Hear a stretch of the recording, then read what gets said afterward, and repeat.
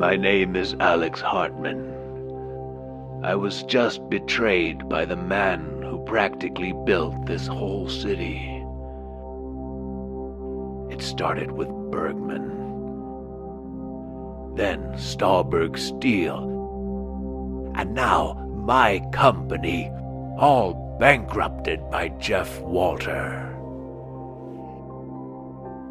He bought the companies for next to nothing and then ran them straight into the ground.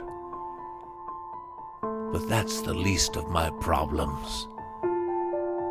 With a company out of business, there's no way we can keep everything in good repair. Things are breaking down all over the city, but no one's doing anything about it. The police, the mayor, and now it seems like even the governor's in his pocket. They care more about his money than what he's doing to this place. Whatever he's planning, it's going to happen. And I don't want to be here when it does. Because there's one thing I'm sure of.